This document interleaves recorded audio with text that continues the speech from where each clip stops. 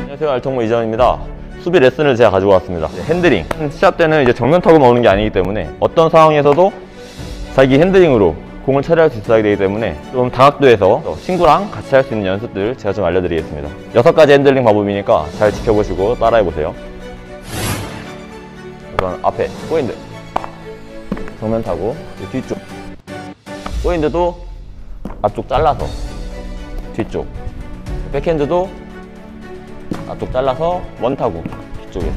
이걸 좀 빠르게 해서 탕탕탕탕 이렇게 가능하십니다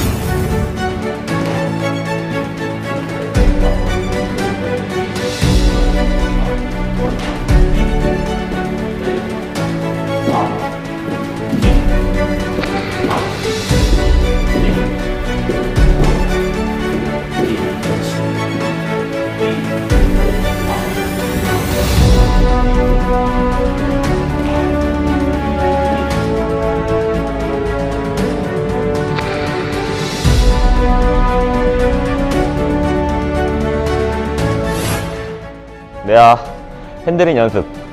정면 대시 정면 백. 포핸드 대시 백.